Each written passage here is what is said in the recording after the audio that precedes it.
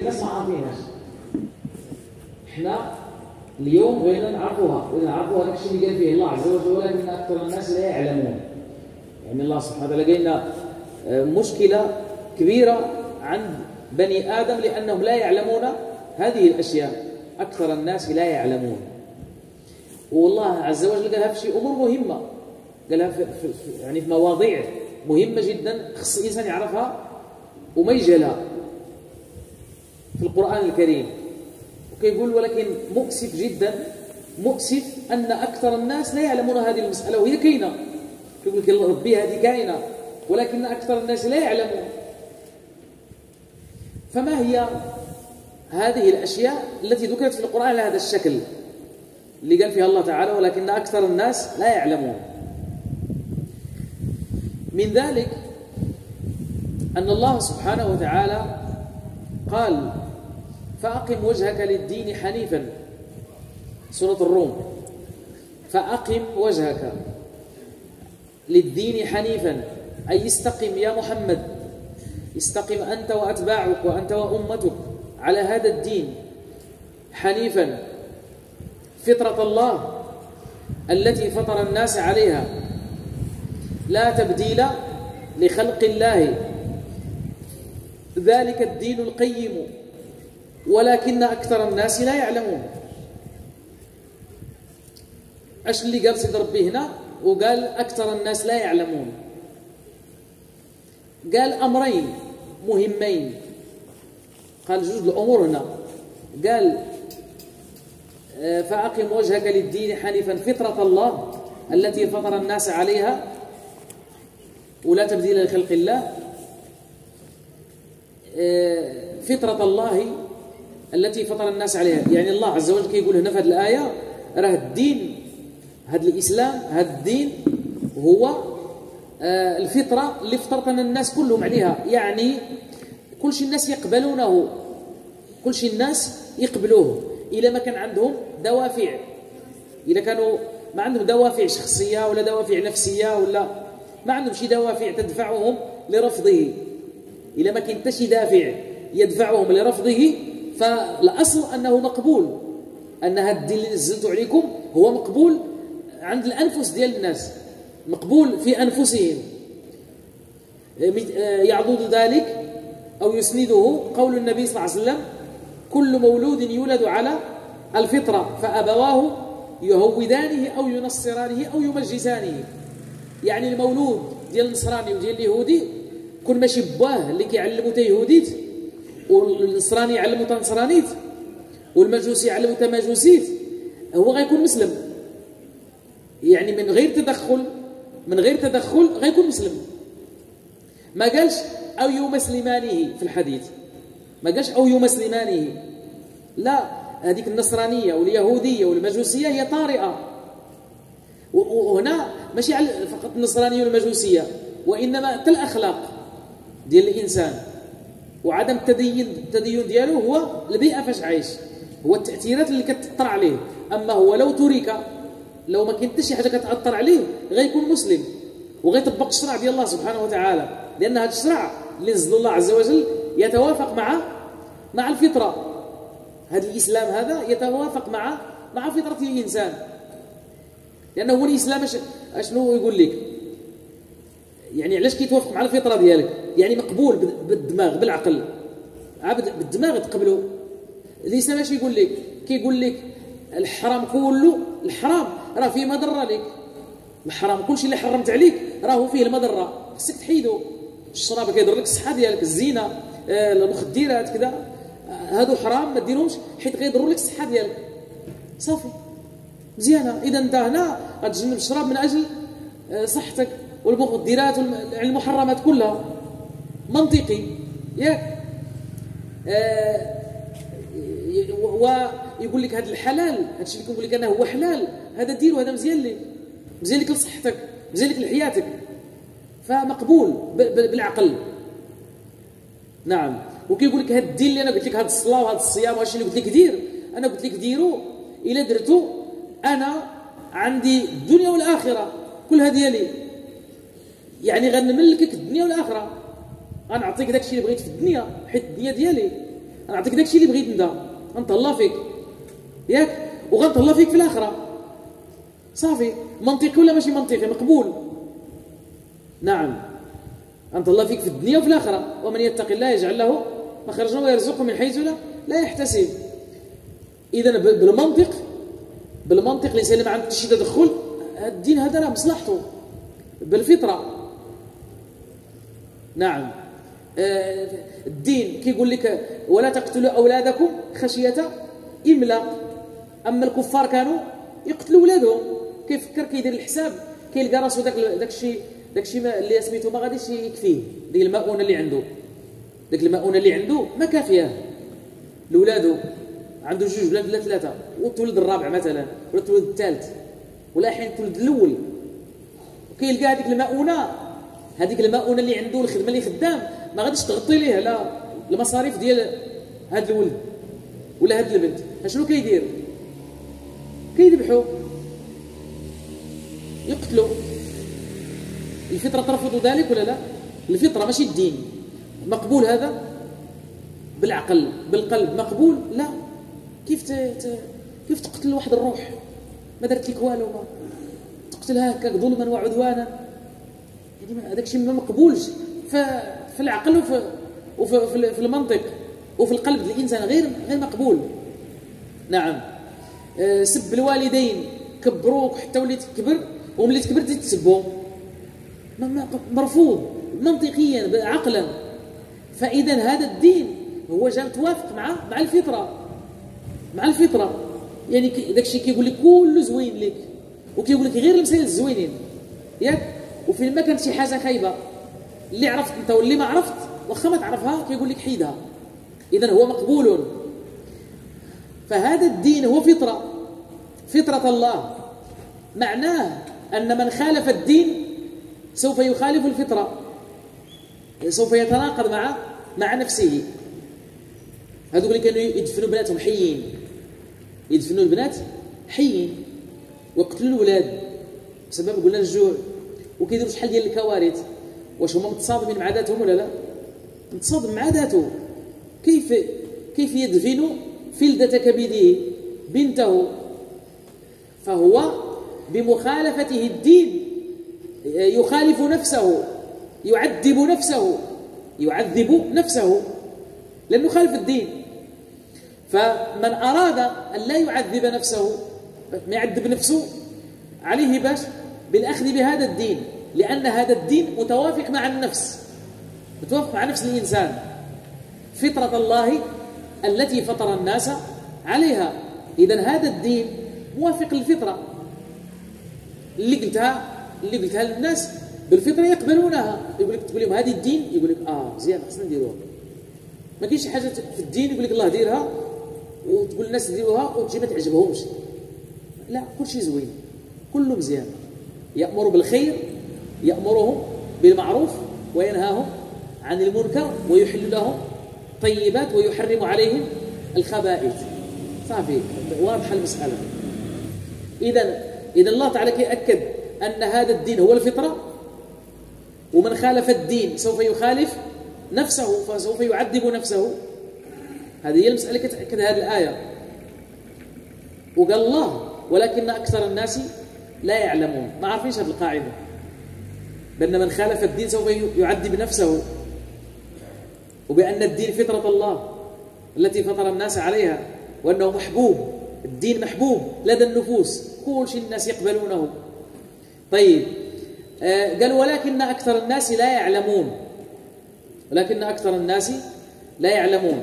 قال مسألة أخرى هنا في الآية. آه قال لا تبديل لخلق الله. ذلك الدين القيم. أكد مسألة أخرى هنا. أن هذا الدين هو الدين القيم هو الدين الإلهي هو الدين الذي شرعه الله لعباده هو الدين الإسلام. هذه الفطرة اللي هي دين الإسلام هو الدين المعتمد المعتمد لدى رب العالمين المعتمد لدى لدى الله سبحانه وتعالى. إن الدين عند الله الإسلام. ذلك الدين القيم. ولكن أكثر الناس لا يعلمون. قيم يعني يأمر بكل ما هو جميل. الدين يأمر بكل ما هو جميل. وينهى عن كل ما هو كل ما هو خبيث. ينهى, ينهى عنه. كل ما يضر العلاقات. شوف الدنيا كيفاش دار العلاقات؟ ديال الناس. إيه في العلاقات دروكا؟ بيناتنا هنا. دابا أي شي حاجة مثلا نديرها أنا مثلا باش تكرهوني نتوما ينهاني الشرع عن ذلك. شحال ديال الحركات كاينين؟ شحال ديال الكلام كاين؟ يتقال. وأنا خصني ما نقولوا نهاني الشرع الله قال لي ما تقولوش. وإلا قلتوا تكرهوني كلكم. وكل واحد فيكم مأمور بذلك. كل واحد فيكم مأمور أن أنه ما يتصرف وما يدير أي حاجة اللي هي يكرهها الناس. نعم. الشرع يأمره بذلك. يأمره بأن يلتزم. وأنه ما يدير حاجة اللي تسبب الكراهية. بينه وبين أخيه.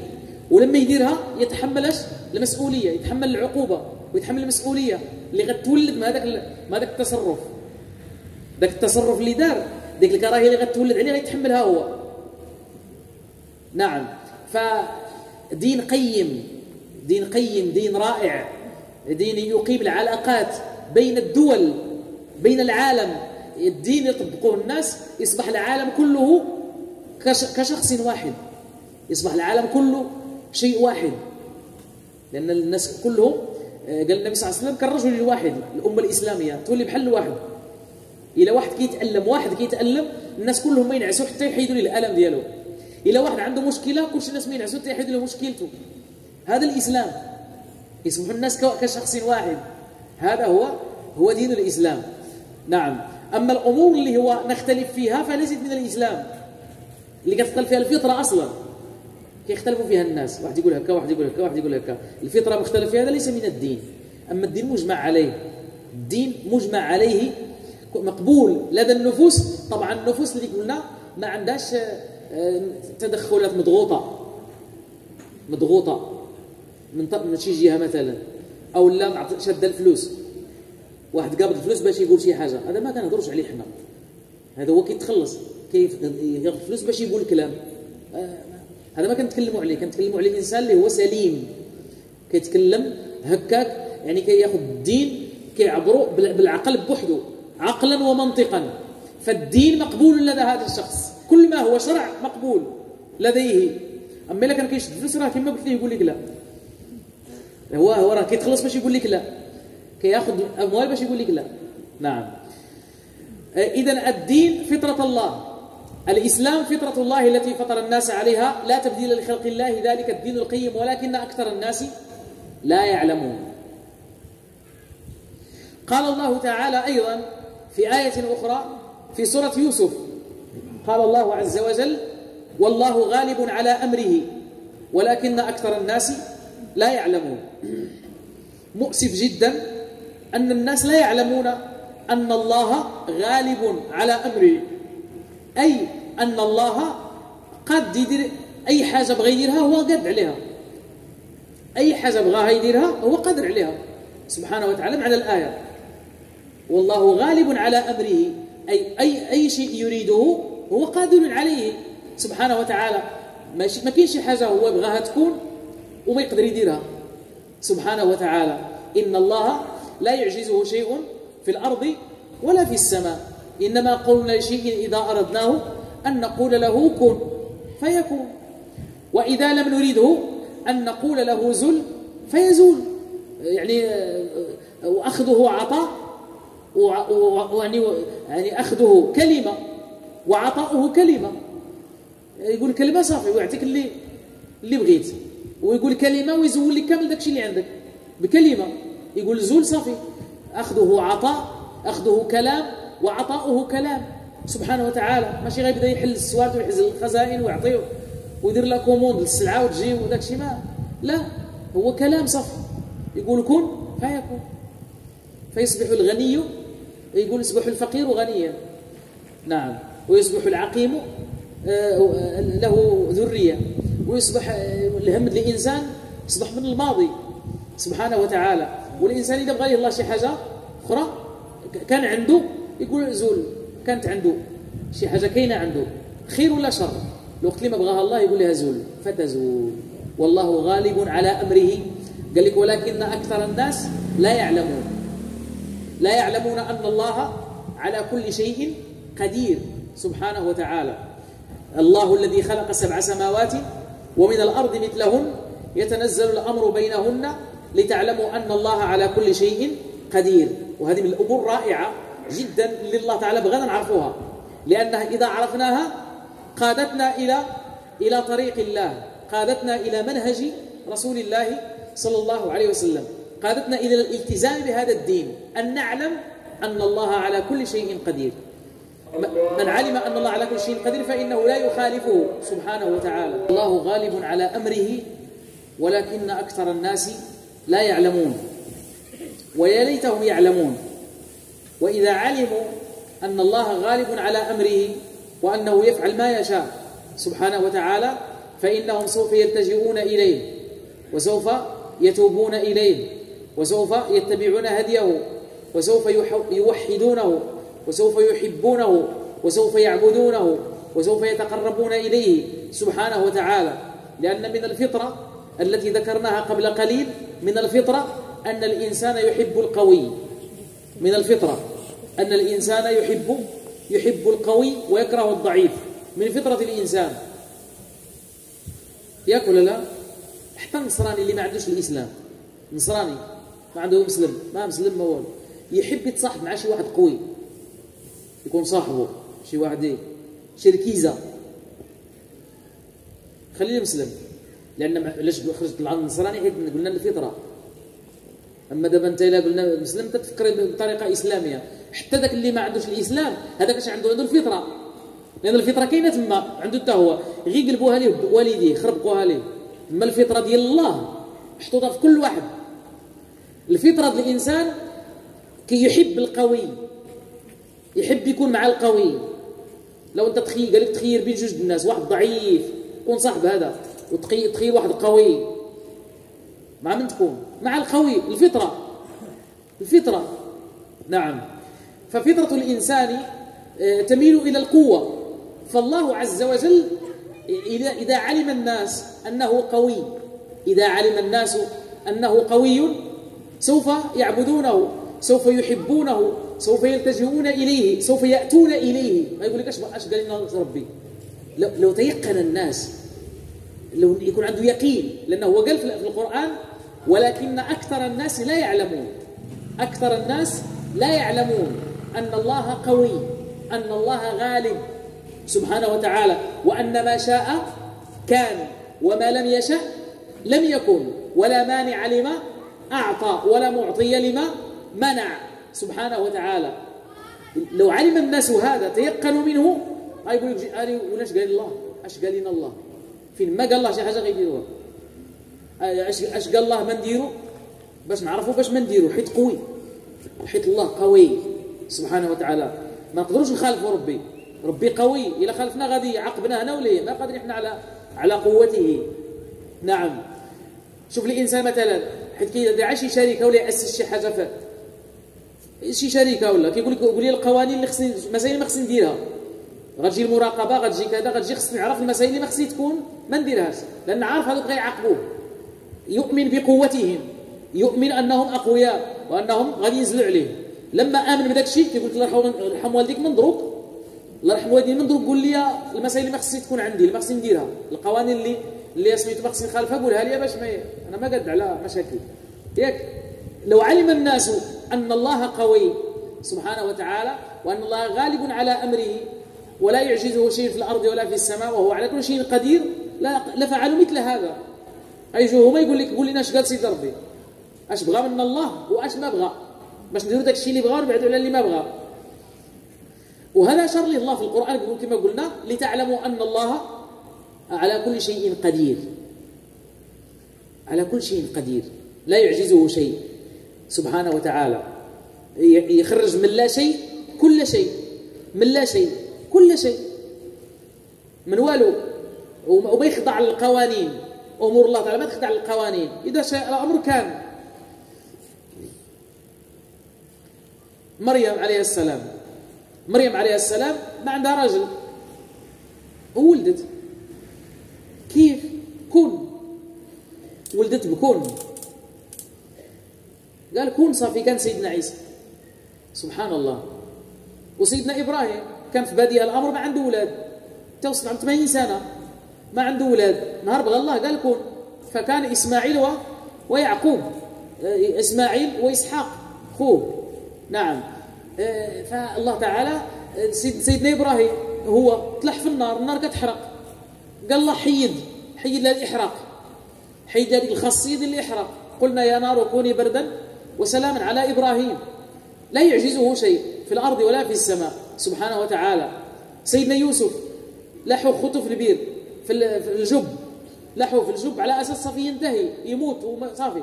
وينتهي الأمر دياله كان صغير لا حول له ولا ولا قوة. فأراده الله ملكا. فصار ملكا على على مصر. هما بغاوه قتيل لكن الله بغاه ملك. فكان ملكا. والله غالب على أمره. ولكن أكثر الناس لا يعلمون. وكان سيدنا سيدنا موسى في في قصر فرعون. في قصر فرعون. ضعيف. بجيجيك صغير بحر تزاد. نعم. يلا تزاد. وضعيف لا حول له ولا قوة. قدام ملك. قدام واحد الملك يعتبر نفسه الله. كيعتبر نفسه هو الله. قال أنا ربكم أنا ربكم الأعلى. هو فرعون. وهذاك بجيجيك صغير. يعني ملك. ملك يقول هو الله. جيوش أشياء كثيرة هائلة. قدام واحد بجيجيك صغير. يعني وهو كيقلب عليه. هذاك الملك كيقلب على ذاك الدري كيقلب على هذاك على موسى عليه السلام. لأن قالوا لي راه واحد الولد من بني إسرائيل هو اللي غادي ينهي لك الحياة ديالك يا فرعون. دوك الصحراء ديالو دوك المشعوذين وداك أو بعض الرؤى حتى في المنام. شافوا داك في المنام. بعض الرؤى. وقد تصدق رؤيا الكافر. فكيقلب عليه فرعون.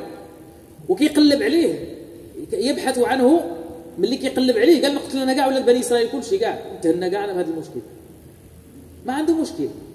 قال هاد ولاد بني إسرائيل كاع ياك هو باقي ما تولد. قالوا ليه؟ آه مازال ما تولد. قال لهم صافي كاع اللي تولد يحيد كاع اللي تولد نحيدوه. صافي. ومشات المساله هكا. واحد المده من الزمن. اللي ولدت شي شي وليد كتسلموا للجيش الفرعوني. كتسلموا للجيش الفرعوني. نعم. صافي تسلموا ولا ما سلماتو؟ اذا جاب الله شي وحدة شي امرأة ضبطت عندها الولد وما سلماتو. للسلطات المعنية. اش يوقع عليها كيقتلوها هي وياه. كيقتلوها حتى هي معاه. اذا جاب الله جلست شاده ولدها حتى دخلوا عليها مثلا ولا جات شي تبرقيقة ولا شي حاجة. ولا هذه جاب الله هي ضبطت أن عندها ولدها وما سلمته للسلطات كيقتلوها هي ولدها ما أي امرأة كتولد الولد كتقلبه ولد اذا كان ولد كتسلمه الجيش فرعون صافي كتديه هي بيديها تعطيه اليوم يقتلوه قال سيدي ربي في القرآن يذبح أبناءهم ويستحيي نساءهم. يخليها الإناث صافي هو اللي يخلي علاش كيدير هادشي كلشي قال لك باش ينجا هو من هذاك الولد اللي غادي يكون سبب نهاية حياته فرعون. كيف يقول فرعون؟ باش ينجا من سيدنا موسى يعني المقصود. نهار تزاد سيدنا موسى تزاد في هذه الحالة. وتزاد في هذه الأرض. تزاد في هذه الأرض اللي هي أرض مصر. ياك؟ كان ممكن سيدنا موسى يتزاد في شي بلاد أخرى كاع. ويبقى تما تيكبر ويجي. ولكن ربي بغى يورينا أنه غالب على أمره سبحانه وتعالى. ولكن أكثر الناس لا يعلمون. قال لك ربي الله هذاك موسى غيتولد هنا نيت؟ هنا نيت تحت هذا الحكم الفرعوني وغنجيه وأنتم شوفوا باش ديروا فيا الثقة. لعلكم تبداو تثقوا فيا. وتثقوا في داك الشيء اللي قلت لكم أنا رب العالمين. زاد سيدنا موسى تما. واش دار سيدنا ربي مازال؟ قال لامه لحيف. ديري في شحت الصندوق ولحيف اليم في الواد. ولحته في الواد والواد ده للقصر. ربي أمر هذاك اليم يدي للقصر.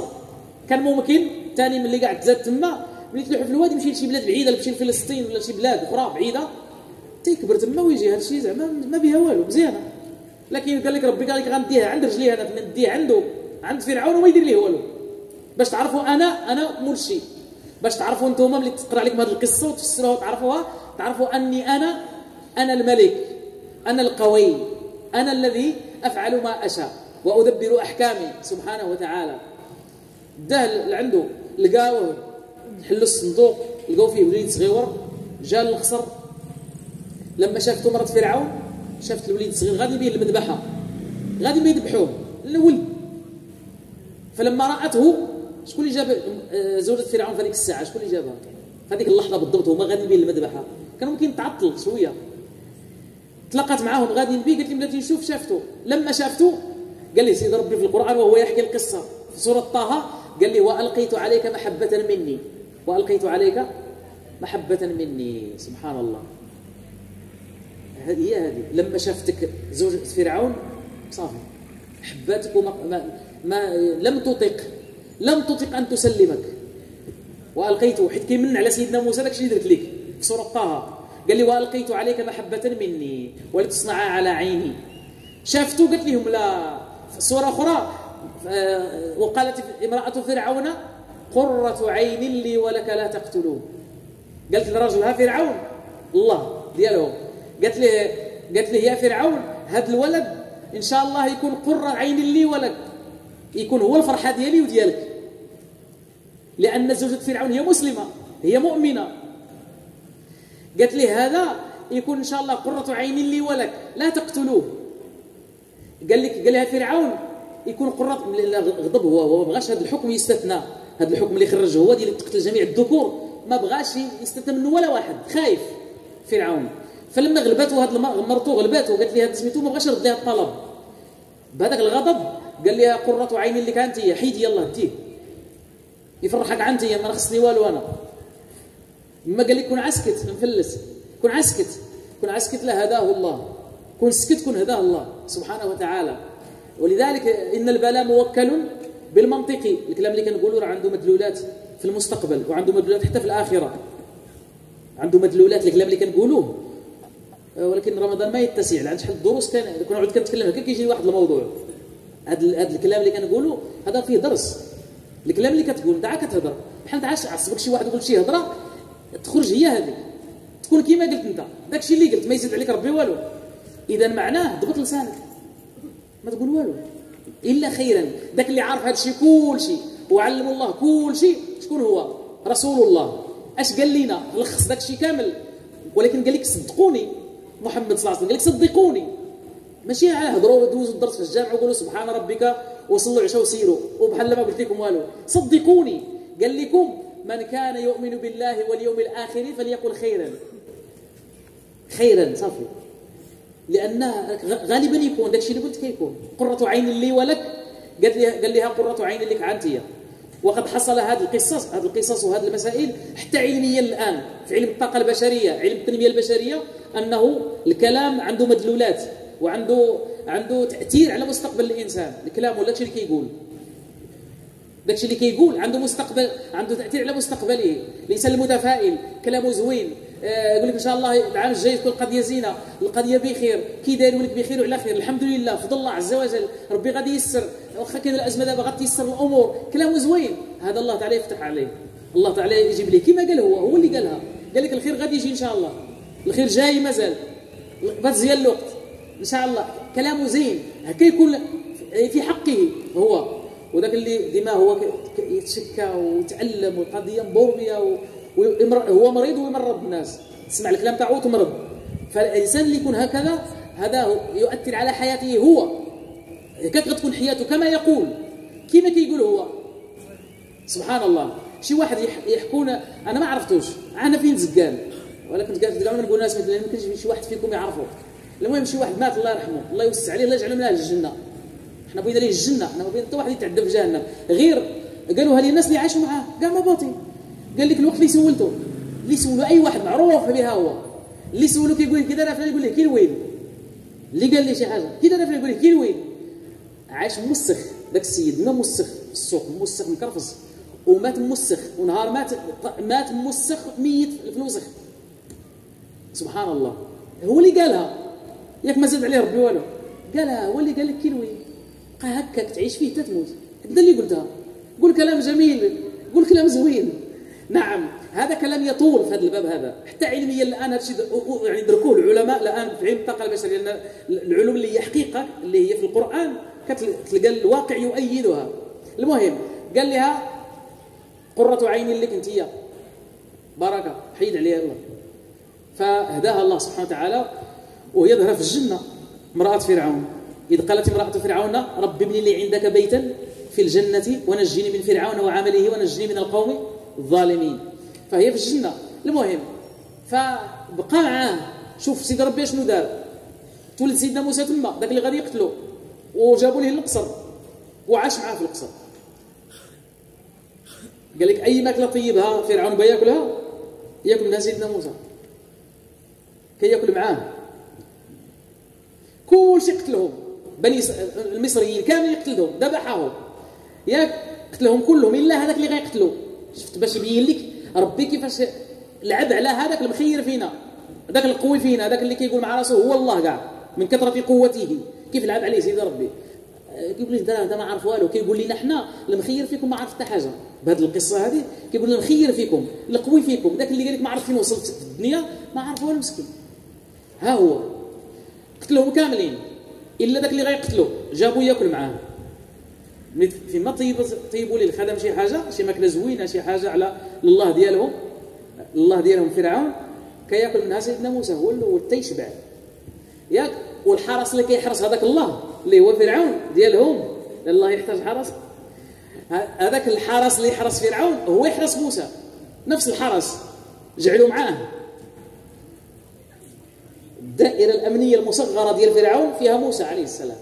يحرسوه باش ما يوقع عليه حتى حاجة. شفت شفت ربي كيفاش داير؟ سبحانه وتعالى.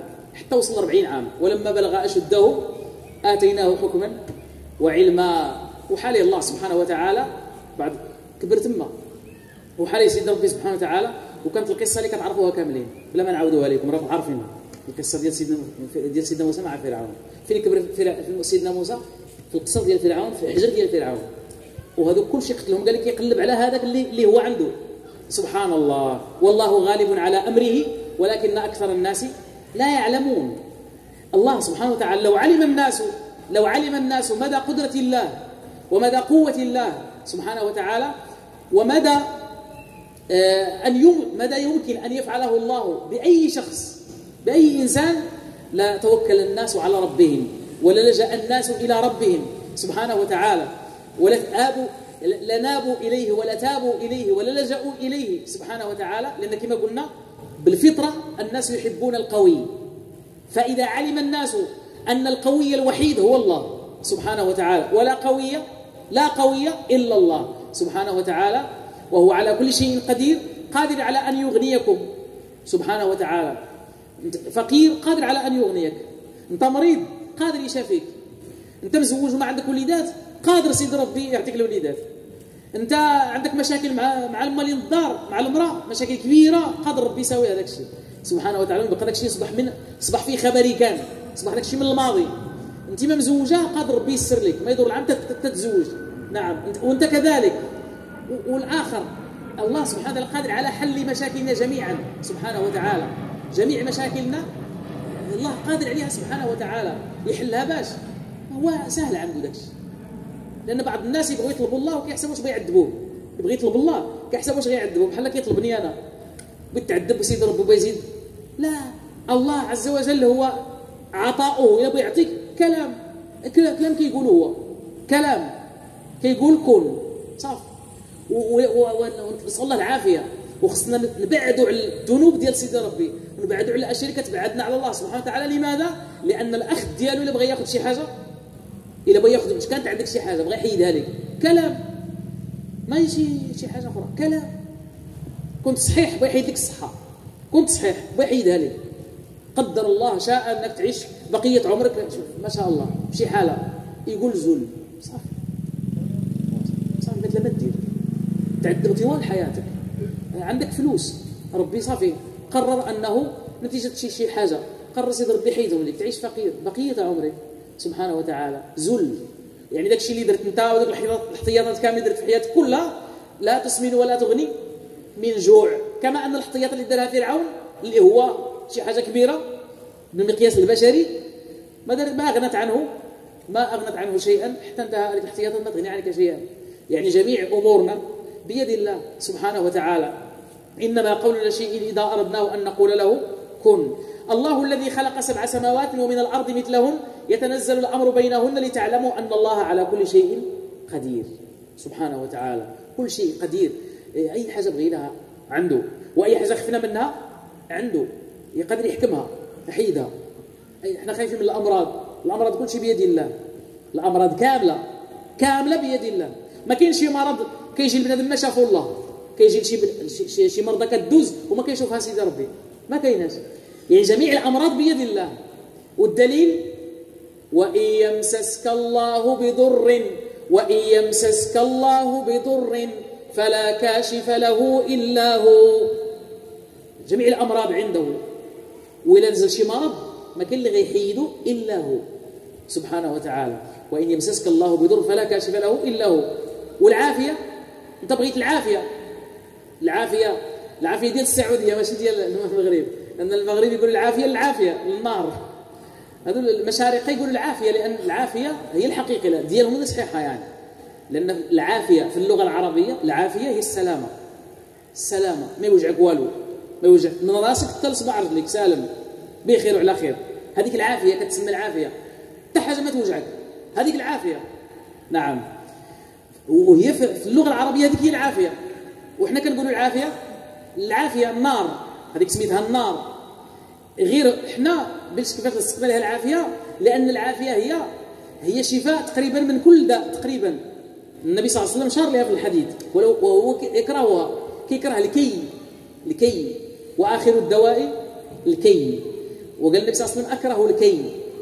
قال لك إن كان في شيء إن كان شيء من من العلاج ديالكم شي حاجة من الأمور اللي كتعالجوا بها فيها الدواء ففي شرطة محجن وفي قال النبي صلى الله عليه وسلم وفي شربة عسل وفي وكية المنار شرطة بمحجن أو شربة عسل أو كي بنار وأكره الكي قال النبي صلى الله عليه وسلم.